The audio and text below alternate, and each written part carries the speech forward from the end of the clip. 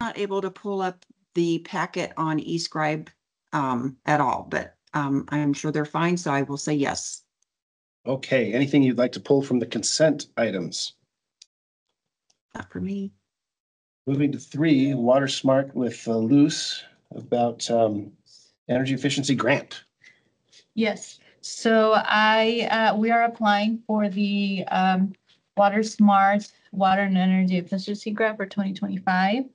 Um, it is due November thirteenth, and we will be, uh, we will receive notice of award, uh, or selection in May twenty twenty-five, and then, um, the funds will be distributed in October twenty twenty-five. And I am just asking, so they require for us to ask for council approval in order to apply for the grant. So that is, I'm wanting your approval to be able to apply for the grant. We are requesting funds for our SCADA uh, project. And um, Angela's team is working on that. We can request up to $5 million with a 50% match. Um, and so we're still working out on what projects we want to include. Um, just because uh, SCADA is so broad and um, on what the how much funding we will be requesting, but that is the max. So Any strings attached uh, that we need to be aware of to the grant? Just the fifty percent match, as long as we have, as long as we provide the fifty percent match, there is no Okay, strings. Councilmember Bergan, you, uh, you're good at Yes. following the money and tracking money. What do you think? I, I like when we get free money. All right, well, I think that goes forward then. Awesome. I'm Thank- here for free money too. Whoa, Welcome, welcome. I think you're up in Vail, aren't you, uh, Councilmember Hancock? I am headed up to Vail for a conference with Visit Aurora, so it's, yeah. Lucky you. That's funny. Very nice, beautiful, beautiful spot. Moving on to four, intergovernmental agreement with Central Colorado Water Conservancy District. Brighton Ditch Company stock, Dawn. Yes, so this is a purchase of water rights. And typically, we don't bring purchases of water rights through Water Policy Committee. Um, if it's under a million dollars, it's signed by Marshall. If it's over a million dollars, it goes through the city council process to regular session. But in this case, it is an intergovernmental agreement, which is why we brought it to the Water Policy Committee and it'll go through study and regular if it's approved. This is a purchase for 0.1 share of the Brighton ditch. There's a total of twenty shares in this ditch. Um, it's not a large share ownership, but it's a large water right and a very important water right to Aurora.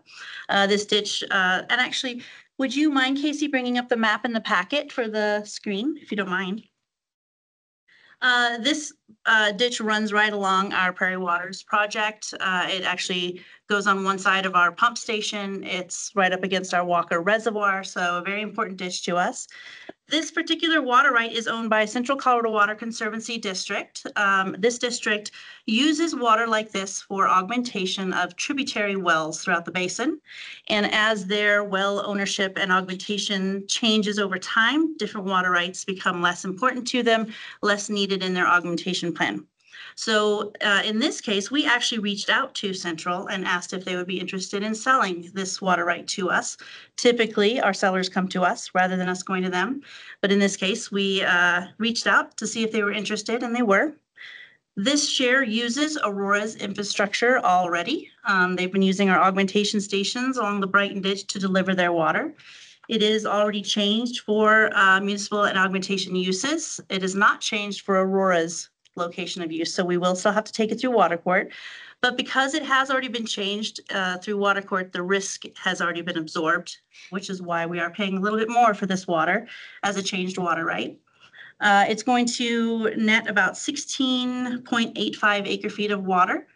And uh, it does come along with a dry up covenant on a farm that was histo- historically irrigated, which uh, if you can zoom out a little for me, Excuse me, um, sixteen point eight five acre feet in what period of time? per year. A year, okay. So that little red box is where the historically irrigated agriculture was. As you can see, the different uh, gravel pits around it. This one is also becoming a gravel pit that is owned by uh, the city of Westminster. And our pump station is just to the south um, of where this location is.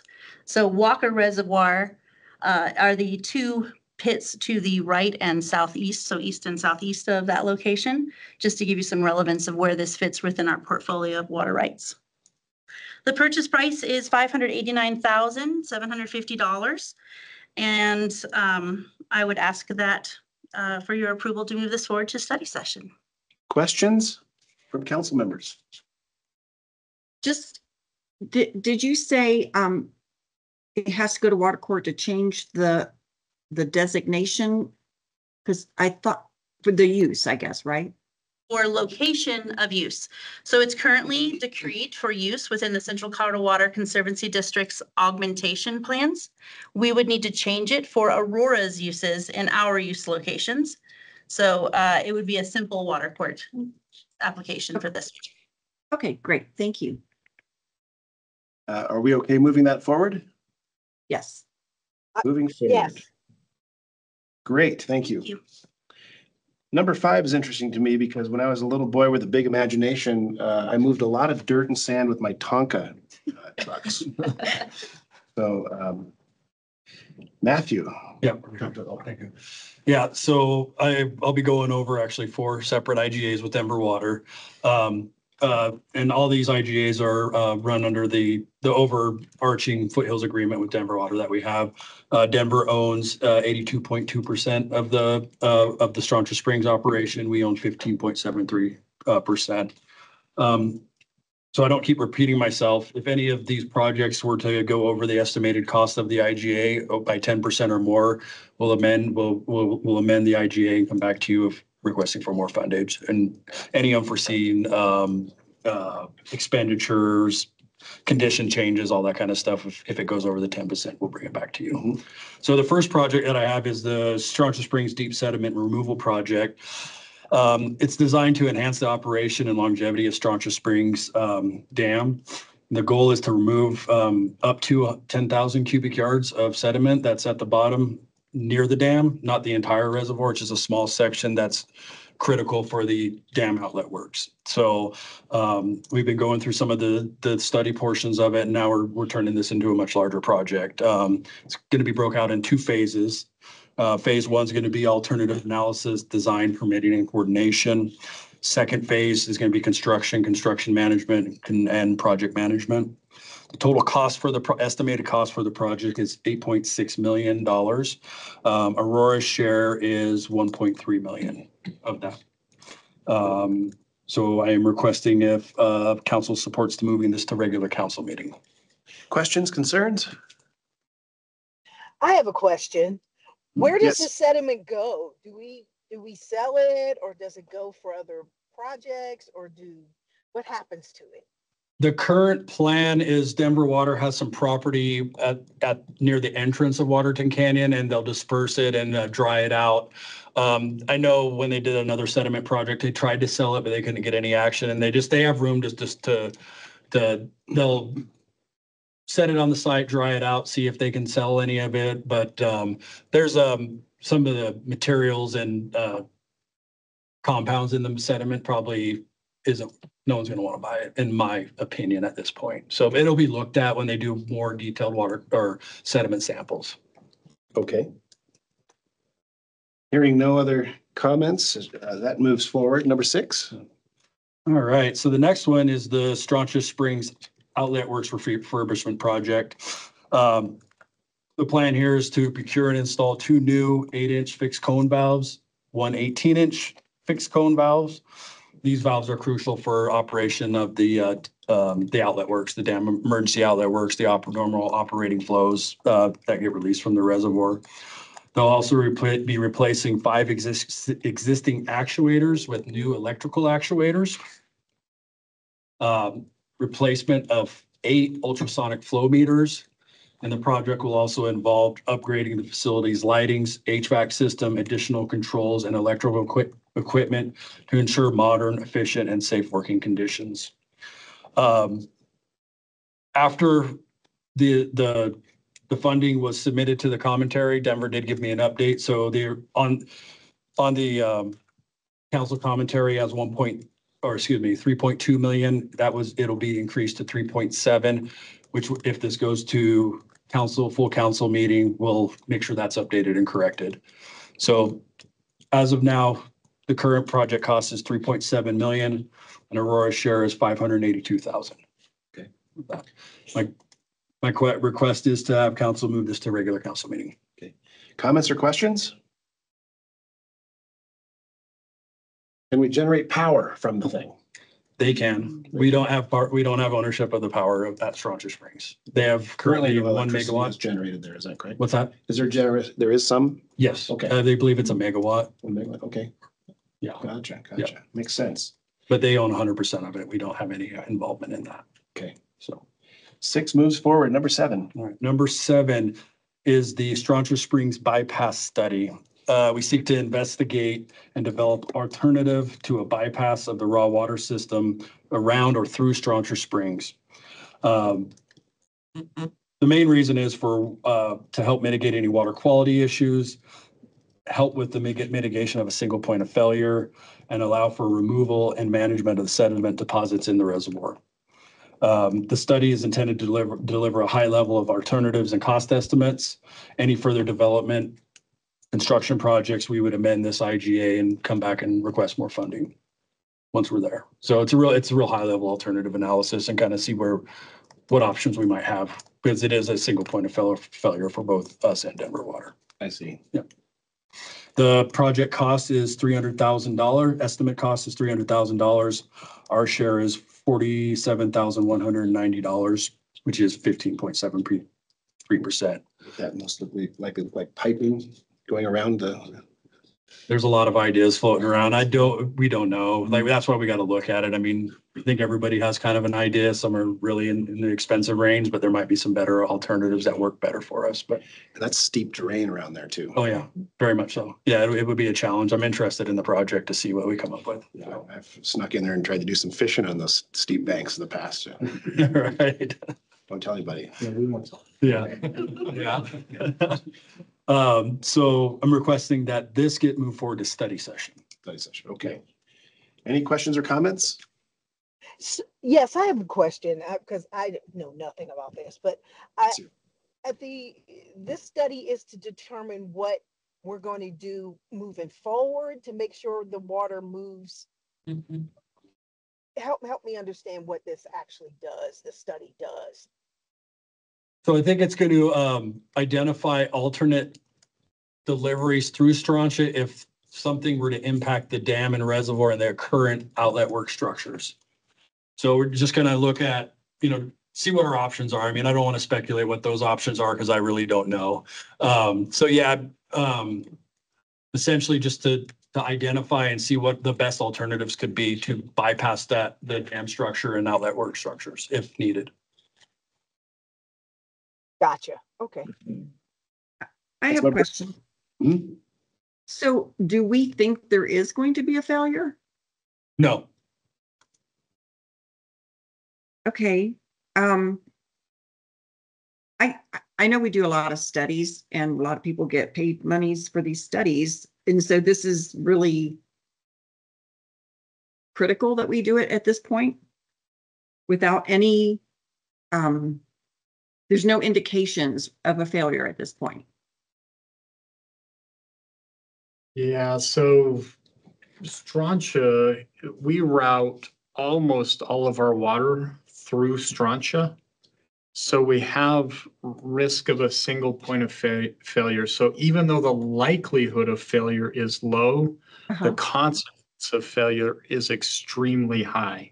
okay. So we need to make sure we understand what the alternatives might be in case of that unlikely failure that would have a significantly high consequence. Does that make sense? Yeah, it does. And so then if they, whatever they come up with in terms of alternatives would just be there for us to consider should anything happen. Potentially, or it might come up with a recommendation for some capital um, projects, some ideas to adjust some things or install some infrastructure in case of that scenario. So we'll just have to get through the evaluation to see what the recommendations look like. And then we'll have the conversation with Denver on what makes sense and what we move forward with. And then who does the study? Did it RFP have to go out from Denver? Uh, this, this is to, uh, this is the, the beginning. We haven't selected anybody for the RFP or anything. This is just applying for funding to get, to have funding available in twenty-five. to start the okay. project. So I think I might have missed it. The study will start in, at twenty-five, so. Yes, Oh, so the, okay. the, the foothills agreement, the way it works with Denver Water is if there's certain expenditures over certain amounts, we have to get funding authority. We agree to get funding authority before moving forward with anything like an RFP process. So that's where we are in this process is authorizing the funding such that an RFP could be put out. Okay, great. Thank you. And our share of the cost was how much? Fifteen point seven three, the total is uh forty-seven thousand one hundred ninety dollars. Okay, forty-seven thousand, okay. I told you she tracks the money. Uh-huh, which is good, which is good. Yeah. Any, uh, so your blessing to move it forward? Okay, that moves forward. Number eight, All right, the final one is the Strontier going around the, project. Um, This project will consist of design, permitting, construction, and construction management and project management to mitigate rockfall hazards throughout Waterton Can- Canyon. Phase one was conducted in two thousand nineteen and with a separate IGA. Uh, The design for this project uh, will take place in twenty twenty-five and construction is planned for twenty twenty-six. The estimated project cost for this IGA is a eight hundred and fifty thousand dollars. Our share is hundred and thirty-three thousand seven oh five. okay. Questions, concerns? And this again is, is for the, for rocks? The- Yeah, scaling operations through the can- canyon, uh, through water, all the way up through Waterton Canyon and, um, up towards the dam. They, they, they'll, part of the design and, uh, investigation process, they'll identify, the rock scaling company will come in and I identify the critical areas to keep the, keep the, the area safe. And then they'll, and then they'll bid it through there, through that process. When we were there, um, a few years ago, is that when they put that kind of, you know, whatever fencing thing? Is that They- what that? Uh, that's some a part of the process. Sometimes they'll, uh, they'll, they'll just knock the rocks off and let them fall, then haul them off. Sometimes it's anchor bolts, sometimes it's netting to protect the rocks from coming down. Yes. Okay, as long as they, Terrain around there too. Oh, yeah, very much. whatever. They will definitely protect those for sure. Yeah. Thank you. So I'm asking if this could go to, uh, the regular council meeting. Yep. Any opposition? We good? Moves forward. Thanks, Matthew. All right, thank you. Appreciate you. All right, uh, number nine, when completed, this will be the eighth man-made wonder of the world. And just note that Sarah Young has no gray hair now. Well, don't be so sure about that. This much. Next Friday. Number nine, Sarah. Yeah, um, so this is a pretty straightforward, um, this is a, a partnership with, um, Park County. One of their, uh, big issues and concerns generally is their roads and the condition of them and use. Um, it ends up that County Road fifty-three kind of being that main access to Wild Horse. That dirt, that gravel road. Yeah, that we were recently on bumping along, um, has some pretty major issues in terms of drainage, um, and condition. Um, it's, uh, critical that it's in good shape. Um, and so we are proposing to partner with them, uh, for two hundred and fifty thousand dollars to help, uh, get that into a condition so it's passable for our heavy equipment. Um, and that's pretty much the gist of it. Okay. Questions or comments? So it's the road that we were, we returned on, not the road we went on? It was the, it was the road we went both directions on. It's early, it's almost just outside the site. Oh, okay. I thought we were on the wrong road that you took us on, Sarah. I feel, I'm requesting that this get moved forward. to- I feel like you couldn't wait for this item to come. up. It was, but was it not? I mean, I'm just joking. I'm good with it. it was an adventure. I'd like to say Sarah's an excellent driver. Oh, She kept her hands at two and ten the whole time. And on the way back, I had such confidence, I took a nap at the van. for 15 minutes. It was a special occasion. Good job, yeah. My husband would probably not agree with you. on Okay. She was focused. All right, so uh, nine moves forward. Now to ten, Richard for uh, U.S. Forest Service Collection Agreement for Forest Health Projects. Uh, Thank you very much. Um, um, I've actually brought uh, Matt Ashley in today. Uh, Matt is a water resources specialist in our, uh, in our group. And he works, um, a lot on our forest health projects. And so we thought, uh, would be a good opportunity for, for Matt to present, um, on, um, this, uh, uh, proposed agreement. Thanks. Okay, good. The technology worked. I, I clicked the button within PowerPoint that said share in your current meeting and it actually worked. So I'm not going to touch anything. Um, Just to introduce myself, I'm Matt Ashley. I'm on Rich's IBES team in supply and demand. And I handle our um, partnerships for watershed health. So today I'm going to be asking for your approval for our annual collection agreement with the United States Forest Service. Uh, but real quick, I'll give you just a little bit of background. So we have a five-year MOU with the Forest Service. And this is just a very broad agreement to agree to work together on watershed health projects, uh, primarily forest health projects. There's no project specifics in the five-year MOU. Um, those specifics go in the yearly collection agreements. Um, and then just to give you some quick background also, when it comes to our watershed health, uh, the Forest Service manages the vast majority Or moves. watershed. And wildfire is the number, number one threat to our watershed health. So after a fire, um, it's kind of nice that Matt was just talking about all of the sediment in Strontia Springs because that's a direct result from wildfires. Um, and also uh, contamination of the water quality. So our support of fire prevention work, um, is really just kind, kind of the idea that an ounce of prevention is worth a pound of cure. So, so that's the idea behind all of this work. So our yearly collection agreements um, contain the project specifics and budgets for the projects we're going to be funding. Um, The 2024 collection agreement, we're going to be providing up to 100,000 to the Pike San Isabel National Forest to go towards forest health and fire prevention projects. Um, And I say up to 100,000 because that amount is likely to be reduced by our um, direct expenditures on um, a fire restoration project, which was the Interlaken fire at Twin Lakes. So let's see if this works. It worked. Okay. So here's some pictures from the Interlaken fire. Um, and that's a picture um, at nighttime of the fire actually burning. Pretty great picture. So the fire happened June 11th to June 24th this year. Um, and as we all know, Twin Lakes is an extremely important asset in our water supply system.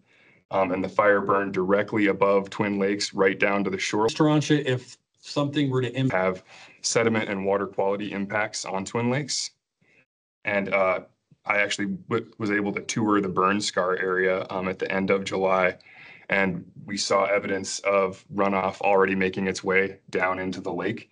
And that was actually just from really small storms. There was, there hasn't even been really a big storm yet. So the final point I'd like to make is if you look at the lower picture there, you can see on the far left side, kind of the, that's that far left side of the burn scar. Um, and you can see that kind of patchy, lighter green colored area. That's actually a prescribed burn from 2018.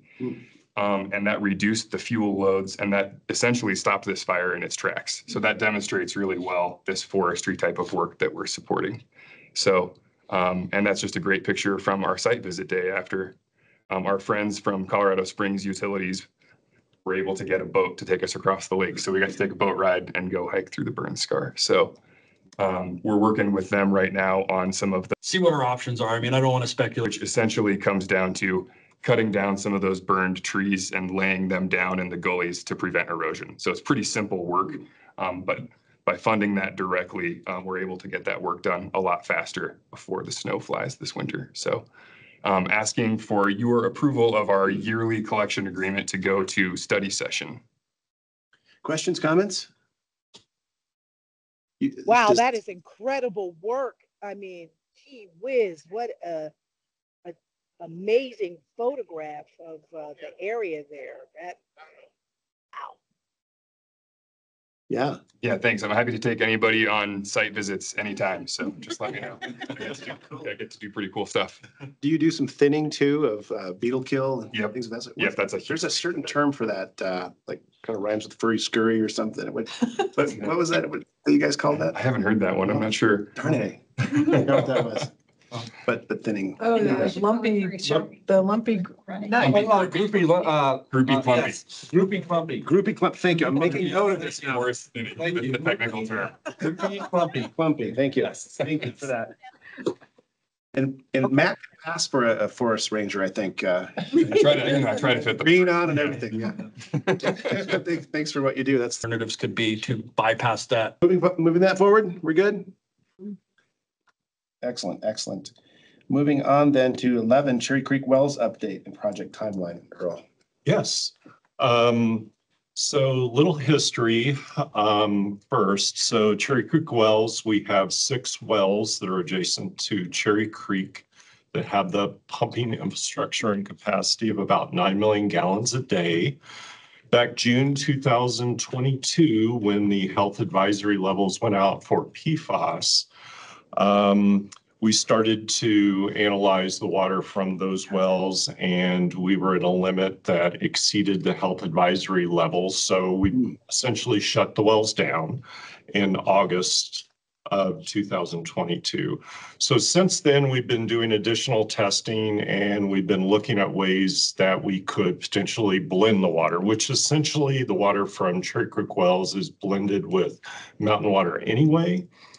But what we were looking at, and Ann Molinaro put together a program and ran through the calculations. We we determined that we could bring the wells back on and at least use a small amount of that well water and blend it with water from our Rampart line, which is mountain water, and um, convey it to Griswold. Um, we want to keep that water at under two parts per trillion. Uh, and we've been very successful with that. Uh, so June, or excuse me, July 17th, we started to look at a couple different options. We brought on the wells, we brought on uh, 1.5 million gallons a day and, and uh, blended that with uh, around 28 uh, MGD from Griswold.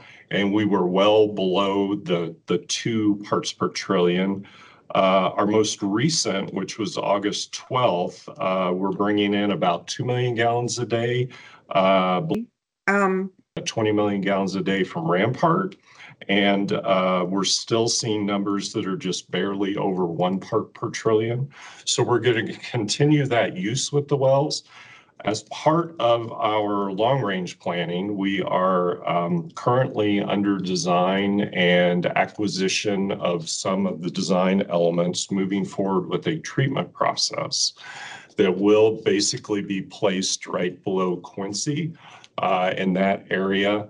Um, And what those will be, will they will be uh, vessels that uh, are ion exchange, which is another accepted method for treatment for um, PFAS. And um, once we accomplish that, we'll be able to put uh, a larger amount of the Cherry Creek well. and so this is really, Um, so we're looking at that. Uh, if everything goes well, I'd say conservatively about third quarter of next year, we'll have that treatment up. Mhm. And then also as a future part of the expansion there, when we are able to do the intertie at Quincy that will allow us to also move some of that Cherry Creek well water across to Wemlinger. And we can also use that blended water at Wemlinger, which currently we do not, which is counterintuitive to a lot of people because it's right across, you know, basically where we bring this water and then we go down to Griswold, but we, we're not using it at Wemlinger currently. So right now, that, uh, that is the update. We were reluctant at first to try to blend out the PFAS until we got a lot more analytical data, but we're very comfortable with it right now and we're keeping it well below the health advisory level so that there aren't any issues. Okay, thanks, Earl. Yeah. Uh, questions, comments? good job. Thanks. I haven't seen these wells. Where are they located? So Matt, I'm going to kick that Um, to you. since Parker and you're- Arapahoe, you know, where the, um, the, I call it the storm soccer fields. Yep. Um, they're s- spread out either north and south of Arapahoe Road, um, throughout the soccer field and all that. They're just little cab, they're cabinets with some wellheads on it. And uh, when were they first constructed? it. And the original was in the fifties. fifties, and they've been taken offline uh, until recently. Correct. And is this downstream from the fire treatment, uh, the, the fire training facility? Or upstream? It's upstream gradient wise from the, you're talking the one in Denver? Well, no, it, when you take the trail, the Cherry Creek Trail, you, you pass It would be a fire training facility would be where they spray and do all kinds of stuff. So there's a fire training facility right there. Right next to the darn, In Parker. I mean, it's like Uh, hundred and fifty feet away from the stream approximately. there we go. There's our source. Probably shouldn't, have- probably shouldn't have said anything. No, no, that's good. I didn't know about that. Yeah, when I was training for a marathon, I'd, I'd run past, there was a great trail to run on. And, uh, I was- I was watching, you know, the, it's, it's like our capstick Yeah. place to a degree. Got biked by that this summer. Jaws of life and, uh, fire simulation and Well, we were kind of wondering what the source was for the PFAS. Now we know. now you know who to sue. Right. Now we know who to send a bill to. Okay, th- that's interesting. Thanks. So it's con- it's contributing substantial water That's- amounts to us uh, right now, Uh, the wells? the wells, yeah. Uh, It could be. We, we've used those historically for blending. It's a fairly small percentage of our water supply, but it affords them the opportunity in the treatment plant to manage the treatment process, the alkalinity, right? Yes, process. Um, differently. So it's not a huge volume, but it's a, a significant benefit. I see. Um, didn't we update the alkalinity system? We- We updated something there, right? Wemlinger, CO two system. Yeah, Yeah, so without that, we have to add some additional chemical essentially at the treatment plant if we don't have the wells to blend it. And the wells are not necessarily drawing water directly from the stream or the creek. It's subterranean. It's uh, Groundwater, Groundwater. there's a connection probably to the, to the That's an surface connection, waters yeah. and to the, now we know about, uh, training facility. So, yeah, I didn't make that connection. Could be where it's, could be, could be, oh, it almost—it's almost certain. Yep. Find out what they're doing down there. Okay. All right, thank you. And here we are, number twelve already. Miscellaneous matters for consideration. Any, anything? Anybody has? How did our, I think, oh, go ahead, I'm sorry. That's- Am I back here? Are we, are we still on track to have a WISE presentation? Yeah, Yeah, I have that down for next month. Okay, great. Thank you. Councilmember Hancock, anything? And things have progressed with our friends at Sterling, Sterling Ranch. They have, so we'll probably give an overview also a little bit next month, but as a preview, they came in, when was that, two weeks ago? Yes. And agreed to the terms and conditions we had put out there. So Yeah. they owe us, I haven't seen yet, unless they sent to somebody else. I haven't seen the red lines they promised to get to us. I haven't seen them either. So they owe us some red lines in the proposed terms and conditions that we would then uh, build into a revised agreement, but they agreed to um, all the terms and conditions we had told That's them good. they would need to. So thank you to the committee um, for your support. I'm not sure we would have gotten there this quickly maybe at all without the support of uh, the Water Policy Committee. And, and I'm gonna shout out uh, Councilman Bergan Yeah. was fantastic in helping us get to the point we did and the rest of the committee. So thank you. They did, so that you know, set a meeting up with the mayor um, to try to shift the negotiations to their benefit a little bit and avoid some of the terms and conditions, but the mayor was also very supportive. And um, after that meeting, they reached out and said, we'll agree to the terms and conditions needed. Good. I know Councilmember Bergan was asking some tough questions and in that last meeting, I know Alex was ready to play hardball. I think she intimidated him. Yes. So, yep, Yeah. it was fantastic. Good. That's good news. All right, uh, Casey, our next meeting, October sixteenth. October sixteenth. Fantastic. Well, we got uh, done in time for uh, Councilmember Bergan to make her next meeting, her next event. Yay, thank you. That worked out great. Well, have a good day, everybody. Thank you. You too. Thank you, everyone.